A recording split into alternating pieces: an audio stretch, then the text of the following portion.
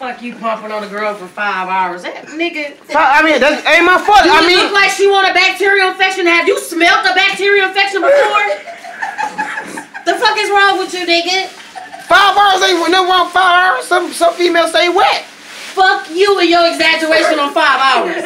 Niggas not fucking for five hours. Who not fucking on five hours? You pop too many X's. I ain't popping no pills, nigga. Anything, nigga. I'm, I'm fucking You five hours. fucking no pills. hours. Record that shit and send it to me. What? I ain't going. I ain't going with you. Not five, five, five hours. Is y'all, is y'all going for five hours? Y'all gonna tap out and come back to it and We keep had our going? nights. Five hours? yeah, non-stop. The fuck? Hell yeah. Why? I got high stamina. I don't give a fuck if you got high Jesus, nigga.